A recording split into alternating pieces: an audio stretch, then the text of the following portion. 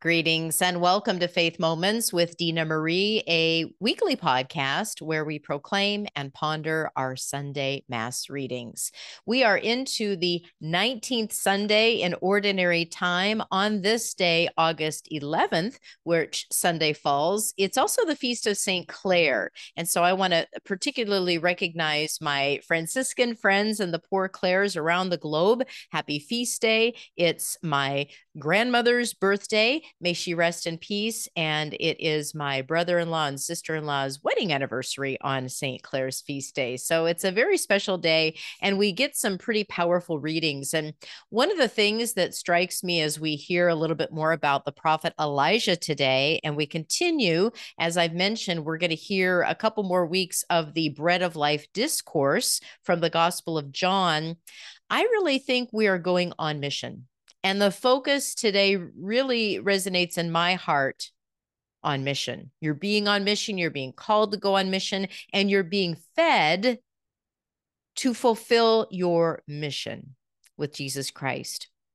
So as we unpack these these scriptures today, keep your mission in mind as you listen to the readings. Let's begin today with a collect prayer for this 19th Sunday in Ordinary Time, let us pray. Almighty, ever living God, whom, taught by the Holy Spirit, we dare to call our Father, bring, we pray, to perfection in our hearts the spirit of adoption as your sons and daughters, that we may merit to enter into the inheritance which you have promised. Through our Lord Jesus Christ, your Son, who lives and reigns with you in the unity of the Holy Spirit, God forever and ever. Amen. And when I talk about that mission, being on mission, that's it to enter into the inheritance which you've promised as adopted sons and daughters, as beloved sons and daughters of the Father, of the Heavenly Father, of the King of Kings and the Lord of Lords. We're preparing to fully embrace that adoption, that life and we have to live through life in order to get there. And St. Paul gives us some words of wisdom always in how to live that life. And we learn from the lessons of scripture and through the church. And we're going to learn through the lesson of uh, one of the prophets today as we get into our readings. So let's begin our readings on this 19th Sunday in Ordinary Time. A reading from the first book of Kings. Elijah went a day's journey into the desert until he came to a broom tree and sat beneath it. He prayed for death, saying, This is enough, O Lord. Take my life, for I am no better than my father's. He lay down and fell asleep under the broom tree. But then an angel touched him and ordered him to get up and eat. Elijah looked, and there at his head was a hearth cake and a jug of water. After he ate and drank, he lay down again. But the angel of the Lord came back a second time, touched him, and ordered, Get up and eat, else the journey will be too long for you. He got up, ate, and drank. Then, strengthened by that food, he walked 40 days and 40 nights to the mountain of God, Horeb. The word of the Lord. Taste and see the goodness of the Lord. I will bless the Lord at all times. His praise shall be ever in my mouth. Let my soul glory in the Lord. The lowly will hear me and be glad. Taste and see the goodness of the Lord. Glorify the Lord with me. Let us together extol his name. I sought the Lord, and he answered me and delivered me from all my fears. Taste and see the goodness of the Lord. Look to him that you may be radiant with joy, and your faces may not blush with shame. When the afflicted man called out, the Lord heard, and from all his distress he saved him. Taste and see the goodness of the Lord. The angel of the Lord encamps around those who fear him and delivers them. Taste and see how good the Lord is. Blessed the man who takes refuge in him. Taste and see the goodness of the Lord. A reading from the letter of St. Paul to the Ephesians. Brothers and sisters, do not grieve the Holy Spirit of God, with which you were sealed for the day of redemption. All bitterness, fury, anger, shouting, and reviling must be removed from you, along with all malice and be kind to one another, compassionate, forgiving one another as God has forgiven you in Christ.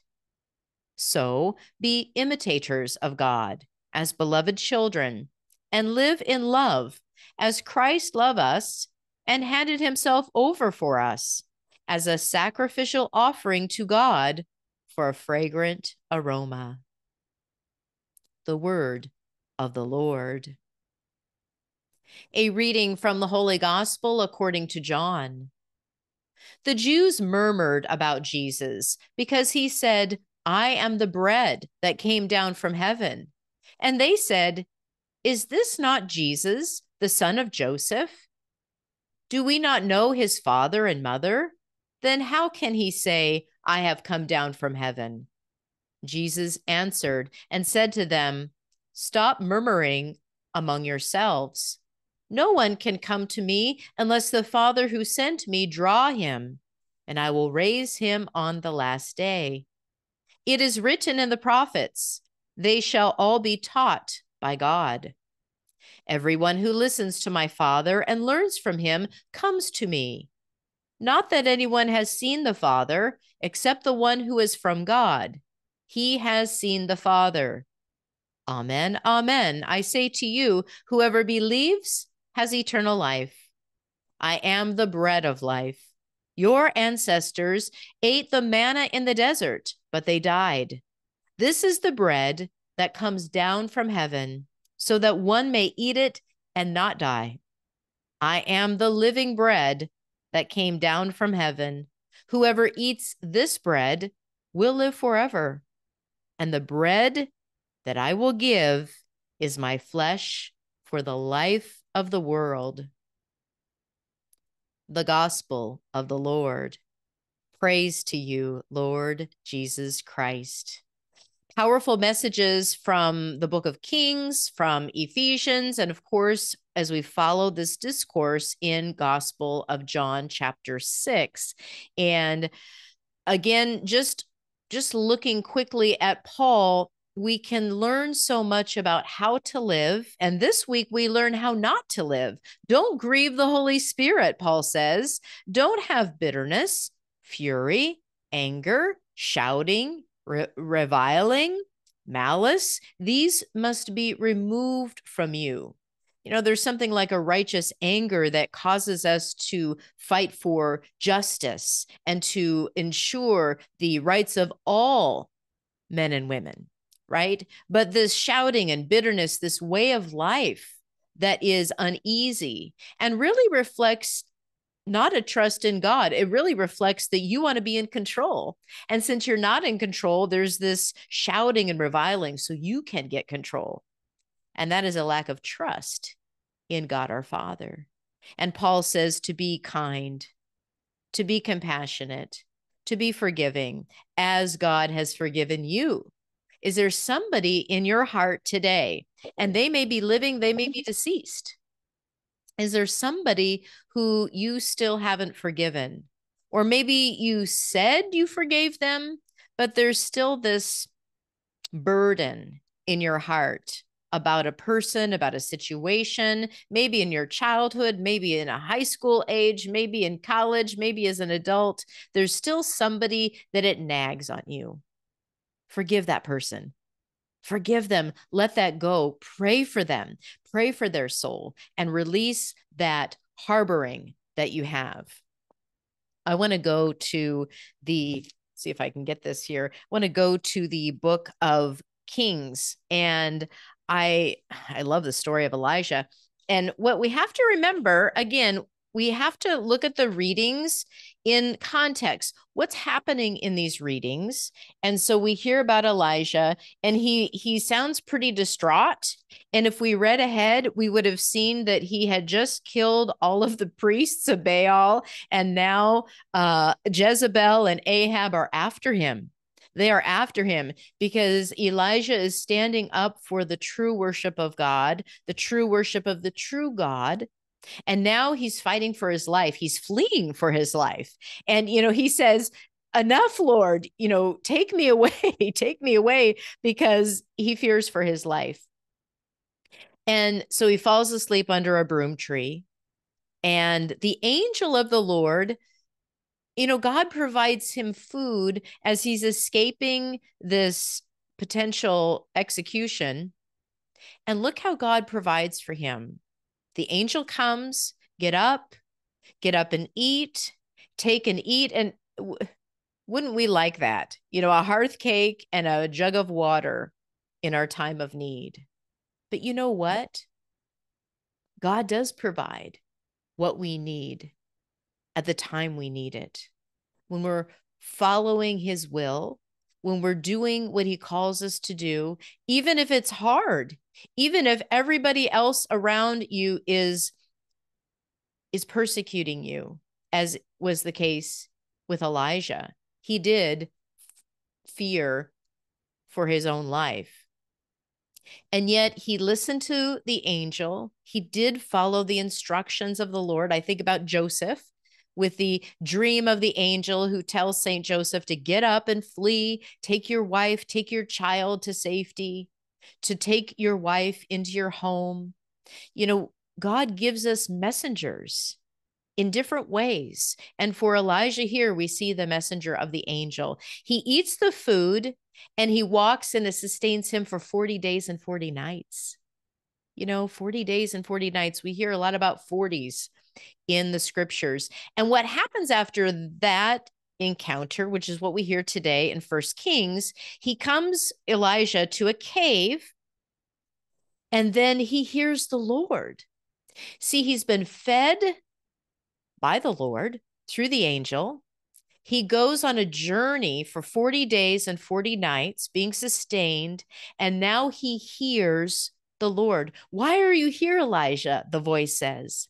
And he says, I'm I'm zealous for you, Lord. But they've destroyed your altars and they've murdered your prophets, and I alone remain. I don't know if you've ever felt that way. It nobody else knows what I experience, you know, the pain that I have. And maybe you feel like you're alone. But Elijah truly is alone because all of the other prophets around him have been slain by this Jezebel. And then the Lord says to go to the mountain. You know, in the midst of his cry, in the midst of his throwing up his hands, I'm at my last, I'm at my wits' end. Elijah still follows the Lord and still trusts in the Lord, even though all odds are against him in his own mind. But when we cease thinking from the mind of ourselves and, and look at the mind of Christ, look at the mind of the Lord. And so then the Lord challenges him to go out to the mountain and, and that the Lord will pass by. Elijah has a very intimate experience with the Lord. And he goes out and we and this is the beautiful I'll read it. This is Elijah again in uh First Kings 19. The Lord says, Go out and stand on the mountain before the Lord. The Lord will pass by. There was a strong and violent wind rending the mountains and crushing rocks before the Lord, but the Lord was not in the wind. After the wind, an earthquake, but the Lord was not in the earthquake. After the earthquake, fire, but the Lord was not in the fire. After the fire, a silent sound. When he heard this, Elijah hid his face in his cloak and went out and stood in the entrance of the cave. A voice said to him, Why are you here, Elijah? I have been most zealous for the Lord, the God of hosts, said Elijah, but the Israelites have forsaken your covenant. And he goes on, and the Lord says, Go back. The Lord says, Go back. Go. go on mission. What do we hear after we receive the word of God? We're fed by the word and the Eucharist. It's not just the Eucharist. Don't check out at the first part of the liturgy of the Mass. We are fed by that holy word of God. Right there, first and second Kings, we're fed by these stories. We're fed by the writings of St. Paul. We're fed by the gospel proclaiming who Jesus is and that we are invited to be those uh, those daughters and sons to receive eternal life. And so now that we've received the word, which nourishes us, it gives us counsel, it gives us strength, it gives us direction, it defines who we are, it defines our identity. Then we can prepare to receive. Just like Elijah, he was standing there in this cave and the Lord passed by him. I don't know what that looked like, but that had to have been remarkable, something we can't even imagine. And yet he heard in the quiet, the still voice. And what was it? An invitation to go on mission, to keep going, Elijah. You're not done yet. And if we would keep reading, we would see that the Lord points out three others that are going to be anointed to continue on the mission. And one of them will be Elisha which we hear about Elisha getting the double portions from Elijah, really from God. But there's a mission. There's a mission to go do your work.